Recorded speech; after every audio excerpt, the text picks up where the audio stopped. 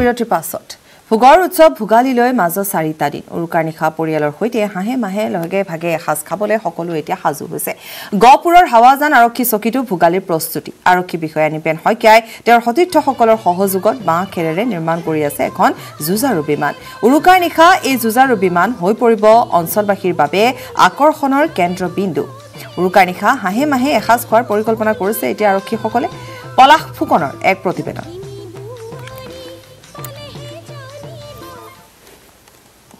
ভোগৰ উৎসৱ ভোগালী বিহুলৈ মাজত মাথো চাৰিটা দিন বাকী। ৰাজ্যত এতিয়া ভোগালীক আদৰাৰ ব্যাপক প্ৰস্তুতি। গহপুৰ হাৱাজান আৰক্ষী চকীৰ আৰক্ষীসকলো এই মুহূৰ্তত ব্যস্ত হৈ আছে। এখন যুঁজাৰু বিমান নিৰ্মাণ কৰাত। কিয়নো উৰুকাৰ নিশা এসাঁজ লগে ভাগে খাব। আৰক্ষী বুলি ক'লে আচলতে ৰাইজৰ সেৱাত চৌবিছ ঘণ্টাই নিয়োজিত থাকিব লাগে। তেওঁলোকে পৰিয়ালৰ ঘৰলৈ গৈ আচলতে পৰিয়ালৰ সৈতে এসাঁজ খোৱাৰ সুযোগ খুব কমেই ঘটে। এই মুহূৰ্তত মোৰ সতীৰ্থই দেখাব সুন্দৰকৈ এখন যুঁজাৰু বিমান তৈয়াৰ কৰি আছে বৰ্তমান আৰু উৰুকাৰ নিশা ইয়াতে সকলো আৰক্ষী মিলি ভোজ ভাত খাব। আৰক্ষী বিষয়া নিপেন শইকীয়াই বৰ্তমান কামত লাগি আছে সুন্দৰকৈ তেখেতে এখন নিৰ্মাণ কৰি আছে। ছাৰৰ ওচৰলৈ আহিছোঁ পোনপটীয়াভাৱে ছাৰ কওকচোন যিহেতু দেখিছোঁ সুন্দৰভাৱে আপোনালোকে যুঁজাৰু বিমানখন নিৰ্মাণ কৰি আছে। যিহেতু আৰক্ষী বুলি কোৱাৰ লগে লগে আপোনাৰ ৰাইজৰ সেৱাত চৌবিছ ঘণ্টাই নিয়োজিত থাকিব লাগে। ঘৰলৈ যাবলৈ সুযোগ নাপায়। এইবাৰ ইয়াতে উদযাপন কৰিব। কেনেদৰে কৰিব কওকচোন? তেনেদৰে মানে আমাৰতো সময় খুবেই কম। তথাপিও আমাৰ ডিউটি খাতিৰত আমি যাবলগীয়া যা ঘৰত বা আমাৰ পৰিয়ালৰ লগত এসাঁজ খাব সৌভাগ্য নহয়। তথাপিও আমি মই মোৰ যিখিনি ষ্টাফ সংঘীয় ষ্টাফ সিহঁতকে পৰিয়াল বুলি ভাবি ঘৰখন বুলি ভাবি আমি এই মাঘৰ বিহুটো মনস্থ কৰিছোঁ এসাঁজ খাম বুলি। খাব পাৰোঁ ন হয়তো সময়ে ক'ব কাৰণ আমাৰ কৰ্তব্য খাতিৰত আমি ক'তত যাবলগীয়া হ'বও পাৰে।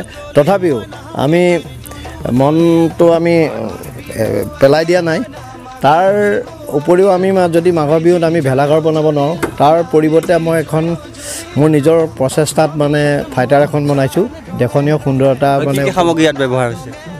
বাঁহৰে মই ফ্ৰেমটো বনাই লৈছোঁ তাৰপিছত উলুখেৰ সংগ্ৰহ কৰিছোঁ তাৰপিছত ফ্ৰেমটো বনাই সজাই পৰাই পিছত খেৰখিনি বান্ধিছোঁ। হয় মানে উৰুকাৰ নিশা সকলো ইয়াত আৰক্ষী মিলি জুলি এসাঁজ খাব। হয় হয় হয়।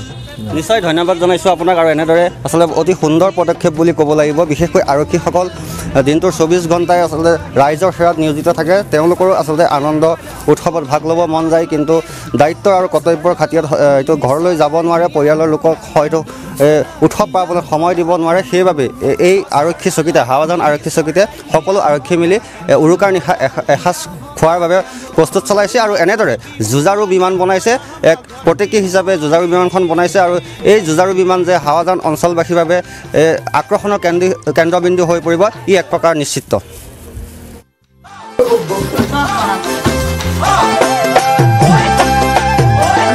প্ৰস্তুতি চলা দেখিবলৈ পোৱা গৈছে। আমি বিভিন্ন প্ৰান্তৰ পৰা দেখুৱাই গৈছো। এফালে যদি ঢেঁকীৰ শব্দ আনফালে আকৌ লাৰু পিঠা বনোৱাত ব্যস্ত জীয়ৰী বোৱাৰীসকল। বিহুৰ প্ৰাক্ষণত বিশেষকৈ গ্ৰামাঞ্চলসমূহত এই দৃশ্য এতিয়া সুলভ হৈ পৰিছে। তেজপুৰৰ গাভৰু শিৱ মন্দিৰতো একেই পৰিৱেশ। ঢেঁকীত চাউল সান্দহ খুন্দাৰ সমান্তৰালকৈ বিভিন্ন সুস্বাদু পিঠা পনা প্ৰস্তুত কৰাত ব্যস্ত মহিলাসকল। ব্যস্ততাৰ মাজতে এনেদৰে বিহু গীতো জুৰিলে মহিলাসকলে। তেজপুৰৰ পৰা সংবাদদাতা হেমন্ত কুমাৰ নাথৰ প্ৰতিবেদন। পদূলিমুখ পালেহি হেঁপাহৰ ভোগালী বিহু আৰু এতিয়া দেখা গৈছে গ্ৰামাঞ্চলসমূহত পিঠা পনা বনোৱাৰ প্ৰস্তুতি। মই বৰ্তমান উপস্থিত আছোঁ তেজপুৰৰ গাভৰু শিৱ মন্দিৰত আৰু এনেদৰে এইসকল মহিলাই পিঠা পনা বনোৱাত তেওঁলোক ব্যস্ত হৈ আছে। আমি পোনতে পৰিৱেশটো দেখুৱাইছোঁ। এনেদৰে এতিয়া জুহালত বিভিন্ন সুস্বাদু পিঠা বনোৱাৰ লগতে সেয়া ঢেঁকীত দেখা পাইছোঁ আমি। সান্দহ খুন্দিছে আৰু যিহেতু মাঘ বিহু সমাগত আৰু ভোগৰ উৎসৱ ভোগালী সেই উপলক্ষে এতিয়া এনেদৰে অসমীয়া চহা জীৱনত আমি এতিয়া দেখা পাইছোঁ সকলো ব্যস্ত বিশেষকৈ মহিলাসকলে লাড়ু পিঠা সান্দহ ইয়াৰ প্ৰস্তুতত এতিয়া ব্যস্ত হৈ আছে। আমি দেখুৱাইছোঁ গাভৰু শিৱ মন্দিৰৰ পৰা এই দৃশ্য আৰু এনেদৰে বিভিন্ন পিঠা লাড়ু তেওঁলোক বনোৱাত ব্যস্ত। মই মই আপোনাৰ পৰা জানিব বিচাৰিম কি বনাই আছে এতিয়া? এয়া কৰাগুৰি খুন্দি আছোঁ। কৰাইগুৰি কৰাইগুৰি সান্দহগুৰি সান্দহগুৰি খুন্দি আছে? হয়। কেনেকুৱা প্ৰস্তুতি কেনেকুৱা? প্ৰস্তুতি বিহু বুলি আৰু বহুত ভালেই লাগে আৰু ভোগালী বিহু বুলি আৰু পিঠা পনা গোটেইখন বনোৱা হয় আৰু। হয় নিশ্চয়কৈ সমাগত মাঘ বিহু আৰু এই মুহূৰ্তত যিহেতু এইসকল মহিলা ব্যস্ত তেওঁলোকে বিভিন্ন পিঠা লাড়ু বনোৱাত ব্যস্ত। মই আহ, প্ৰতিক্ৰিয়া ল'বলৈ চেষ্টা কৰিম। আপুনি কি কি বনাইছে? মই নাৰিকল লাৰু আৰু বৰপিঠা হয়। খোলা পিঠা? তিল পিঠা তিল পিঠা বনাইছোঁ হয়। অঁ মই তিলৰ লাড়ু বনাই আছোঁ। তিলটো ভাজি গুড় দি মিহলাই তাকে সৰু সৰু লাডু বনাই আছোঁ যিহেতু মাঘ বিহু বুলি ক'লে নিশালৈ ভোজ ভাতৰো কথা থাকে। গতিকে হয়তো আপোনালোকে লগে ভাগে মিলি এসাঁজ খাব সেইদিনা। খাম ভালকৈ খাম। মাছে মাংসই গোটেই মিলি পেলাই আমি খাম ভোগালী বিহু উদযাপন কৰিম। হয়। আমি দেখুৱাইছোঁ এই গাভৰু শিৱ মন্দিৰৰ এই পৰিৱেশ আৰু এনেদৰে এতিয়া দেখা গৈছে জুহালত সান্দৰ পৰা বিভিন্ন পিঠা লাড়ু তেওঁলোক বনোৱাত ব্যস্ত। আৰু যিহেতু মাঘ বিহু বুলি ক'লে সকলোৱে মনত এক আনন্দই বিৰাজ কৰে। গতিকে মই এইসকল মহিলাৰ পৰাও মই বিহু এফাকি যদি মই শুনিবলৈ চেষ্টা কৰোঁ। কি ক'ব হয় ভালেই হ'ব বাৰু। কৈছে নেহৰ মুগাৰে মোহৰা ঐ তাতোত কৈছে নে হৰে অ' মাকো তাতোত কৈছে নে হৰ ভোগালী বিহু ঐ ঐ নাপাতি কেনে কৈ থাকো। ঐ ওপৰে উৰিলে পাৰঘুমা চৰাই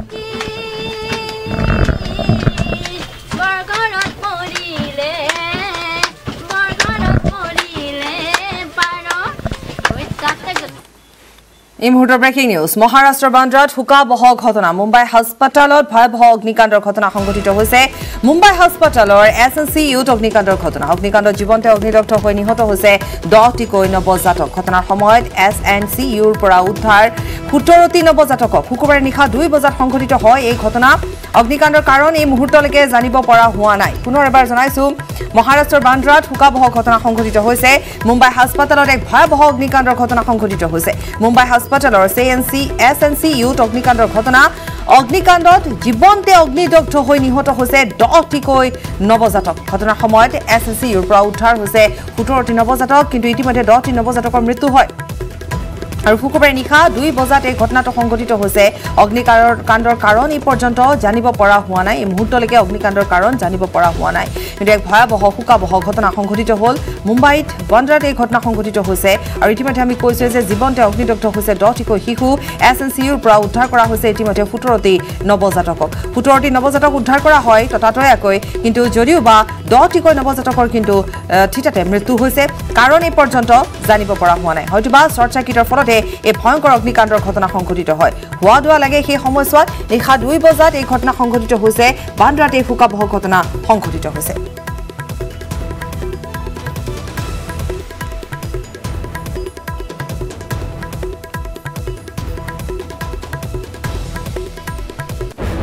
আন এক ব্ৰেকিং নিউজ দৰঙৰ আউলা চৌকাৰ পোন্ধৰ নং ৰাষ্ট্ৰীয় ঘাইপথত পথ দুৰ্ঘটনা সংঘটিত হৈছে।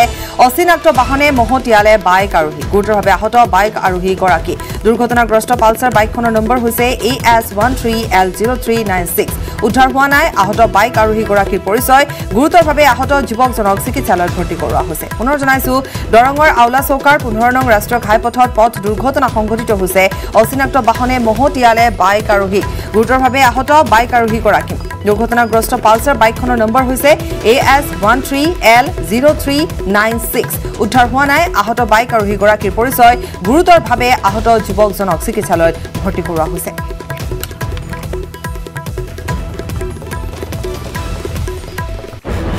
খবৰ আৰু আছে। সময় বিৰোধ যোগ থকাৰ প্ৰমাণ পোৱাৰ বাবেই জামিন নাপালে অখিল গগৈ। কা বিৰোধী আন্দোলন অথবা ৰাষ্ট্ৰদ্ৰোহৰ অভিযোগত অখিলক গ্ৰেপ্তাৰ কৰা নাই বুলি মন্তব্য কৰি এই দাবী মন্ত্ৰী হিমন্ত বিশ্ব শৰ্মাৰ। ইপিনে অখিলক কাৰাৰুদ্ধ কৰি ৰখাৰ আঁৰত মন্ত্ৰী হিমন্তৰ চক্ৰান্ত বুলি অভিযোগ কংগ্ৰেছ সাংসদ প্ৰদ্যুৎ বৰদলৈ। মোৰ ল'ৰা মাওবাদী নহয়। মাৰি পেলাও মোকো মাৰ মাক ল'ৰাক মাৰি তহঁতি ৰাজপাত তেওঁলোকে মাওবাদী আমাৰ সি না মাওবাদী কোনে ইয়াত দেখুৱাইছে কোনে জানিছে তেহেঁতিয়ে মাওবাদী এনেকুৱাবোৰ কথা প্ৰশ্ন কৰি আছে তেহেঁতিহে মাওবাদী বৃহস্পতিবাৰে কান্দি কান্দি কৈছিল অখিল মাতৃ প্ৰিয়তা গগৈ মুকলি আকাশৰ তললৈ আহিব বুলি আশাৰে বাট চাই আছিল অখিল গগৈৰ সতীৰ্থ আৰু অনুগামীয়ে। অখিল গগৈ আহিব। ৰাইজৰ দলৰ জাতীয় অভিৱৰ্তনত অংশগ্ৰহণ কৰিব। এই প্ৰত্যাশা আৰু প্ৰতীক্ষাৰে অখিল গগৈক আদৰি নিবলৈ সাজু কৰা হৈছিল এইখন বাহন। এ আই টি চিত ৰখাই থোৱা এইখন পুষ্পসজ্জিত মহিন্দ্ৰা বাহনলৈ চাওক। এইখন গাড়ীৰেই অখিল গগৈ কাৰাগাৰৰ পৰা পোনে পোনে জাতীয় অভিৱৰ্তনলৈ নিবলৈ এক প্ৰকাৰ সাজু হৈ আছিল সমৰ্থক বাহিনী। কিন্তু আশা কৰা মতে একোৱেই নহ'ল। জামিন নাপালে অখিলে। কাৰণ অখিল গগৈৰ সৈতে মাওবাদীৰে যোগাযোগৰ প্ৰমাণ পাইছে হেনো নিয়াৰ আদালতে। দাবী মন্ত্ৰী হিমন্ত বিশ্ব শৰ্মাৰ। কোনোবা মানুহক জেলত থৈ আমি ৰাজনীতি নকৰোঁ।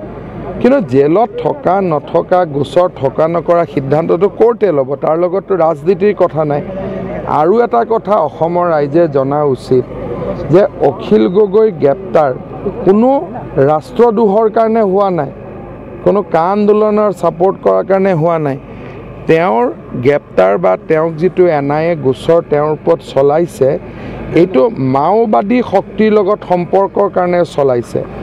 আৰু এন আই এ তেওঁলোকৰ যিটো চাৰ্জশ্বীট তাতে কি ধৰণে এই নেতাজনৰ উদ্যোগত ট্ৰেইনিঙৰ কাৰণে ল'ৰা পঠোৱা হৈছিল কি ধৰণে তেওঁলোকে ট্ৰেইনিং কৰি উভতি আহি অসমত মাওবাদী আন্দোলন নিৰ্মাণ কৰিব খুজিছিল সেইবিলাকৰ ওপৰতহে এন আই এ চাৰ্জশ্বীট দিছে। অখিল গগৈ সন্দৰ্ভত মন্তব্য কৰিবলৈ গৈ নৱগঠিত আঞ্চলিক দলকো আক্ৰমণ কৰিলে মন্ত্ৰী শৰ্মাই। ৰাজনৈতিক দল গঠন কৰা সংগঠনবোৰ জাতীয় সংগঠন হৈ থকা নাই। আছুৰ দৰে সংগঠনবোৰৰ নামৰ আগত জাতীয় সুবিধা বৰ্জন কৰিবলৈ আহ্বান জনালে মন্ত্ৰী হিমন্ত বিশ্ব শৰ্মাই। এ জে পিয়ে হওক ৰাইজৰ দলে হওক কোনো এজন প্ৰাৰ্থীৰে ছিকিউৰিটি ডিপজিট নাথাকে সেইটোতো স্পষ্ট কথা। কিন্তু এতিয়া আৰু আছুৱে নিজক জাতীয় সংগঠন বুলি ক'ব নোৱাৰে সেইটো ডিচিশ্যন হৈ গ'ল এইটো পাক্কা হৈ গ'ল। গতিকে মই সংবাদ মাধ্যমক ৰিকুৱেষ্ট কৰিম আপোনালোকে আছুৰ আগত জাতীয় সংগঠন আদি শব্দ প্ৰয়োগ নকৰিব। ইফালে মন্ত্ৰী হিমন্ত বিশ্ব শৰ্মাৰ চক্ৰান্তৰ বাবেই অখিল গগৈয়ে কটাবলগীয়া হৈছে কাৰাবন্দী জীৱন। এই অভিযোগ আনিলে কংগ্ৰেছীয়াংকত প্ৰদ্যুৎ বৰদলৈ। মন্ত্ৰী হিমন্ত শৰ্মা এই বিজেপি দলৰ এজন প্ৰধান চক্ৰান্তকাৰী অখিল গগৈৰ বিৰুদ্ধে। এইটো সকলোৱে জানে। আৰু সেইকাৰণে তেওঁ যিয়ে নকলে এতিয়া ৰাইজক যেতিয়া তেওঁ ৰাইজক ফুচুলাবৰ কাৰণে তেওঁ যিকোনো পৰ্যায়ত যিকোনো মিছা কথা ক'ব পাৰে অহৰহভাৱে মিছা কথা কৈয়ে আহিছে।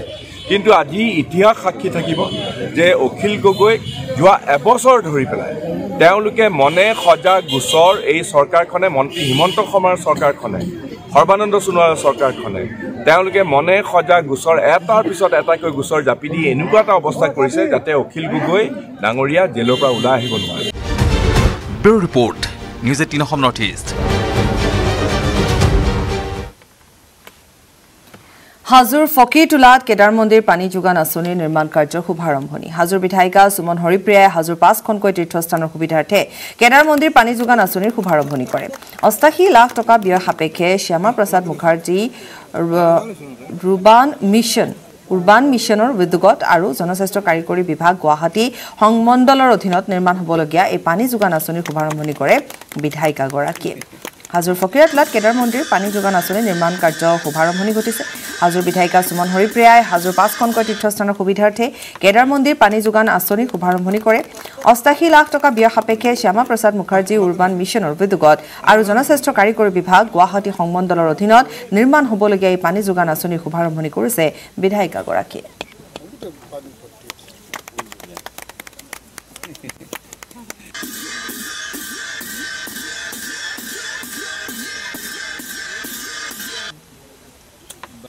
আমাৰ এক নং হাজো দুই নং হাজো আৰু কুলহাটী মিলি মিলি আমাৰ ৰুবান প্ৰজেক্টটো আমি আনিছোঁ হাজোত। বিৰাট সৌভাগ্যৰ কথা অসমৰ কাৰণে যে আমি মাত্ৰ তিনিটা এল এছ চিহে এইটো প্ৰজেক্ট আনিবলৈ সক্ষম হৈছোঁ। তাৰে ভিতৰত হাজো এটা। আৰু যিহেতু চেণ্ট্ৰেল গভৰ্ণমেণ্টৰ প্ৰজেক্ট গোটেই পইচাখিনি চেণ্ট্ৰেলে দিয়ে মাত্ৰ থাৰ্টি পাৰ্চেণ্ট বা টুৱেণ্টি পাৰ্চেণ্ট শ্বেয়াৰ আমাৰ ষ্টেট আৰু ষ্টেটৰ পৰা আহে। কিন্তু এতিয়ালৈকে আমাৰ চেণ্ট্ৰেলৰ পৰা অহা প্ৰজেক্টৰ আমাৰ কাম চলি আছে এই মুহূৰ্তত। আৰু যেতিয়া ইনফ্ৰাষ্ট্ৰাকচাৰ ডেভেলপমেণ্ট বুলি কয় তেতিয়া ৰাস্তাৰ পৰা আৰম্ভ কৰি পানী যোগান সকলোখিনি কাম কৰে। আৰু আৰু আৰু এটা কথা যে গাঁৱতে চহৰৰ নিচিনা জীৱন যাপন কৰিবৰ কাৰণে আমাৰ মানে আমি সহজ কৰি দিওঁ আৰু সেইখিনি আমি কাম কৰোঁ। তাৰ বাবে আমি এইটি এইট লাখ মূল্যৰ আমাৰ এইটো পানী যোগান আঁচনি